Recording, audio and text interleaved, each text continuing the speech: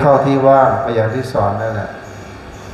น้ำเย็นช่วงไม่มีน้ำเย็นก็สูดลมยาวๆสุดสูดจนมันสุดปลายลมถึงไหนก็เอาจิตไปอยู่ตรงตรงนั้นแหละ ตรงนั้นแหละทางเข้าสุญญตาหรือเมื่อมันถึงตรงนั้นได้เบื้องต้นมันจะหยุดนิ่งก่อน มันจะไม่คิดอะไรก่อน ถ้าพุทโธอยู่พุทโธก็จะดับ ดูลมอยู่ลมก็จะดับ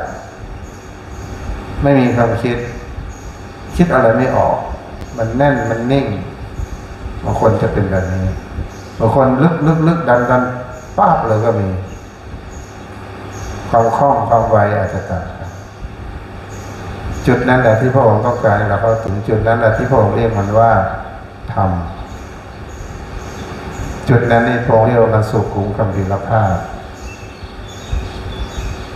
ให้ทุกคนจำตรงนี้ไว้นะไมันต้องคิดเรื่องอื่นเมื่อเข้าถึงตรงนี้แล้วเนี่ย จิตเราก็เหนือโลกหมดแหละ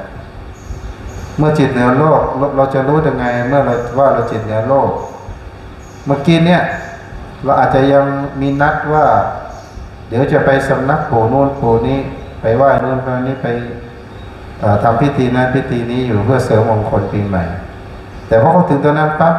อันเหนือเลยโอ้สิ่งนั้นเป็นแค่ของเด็กเล่นเนาะโอเค ถ้าเป็นพิธีกรรมเราเป็นประธานกับเขาอยู่ จะต้องไป เออ ก็คือไปแบบประธานไปแบบ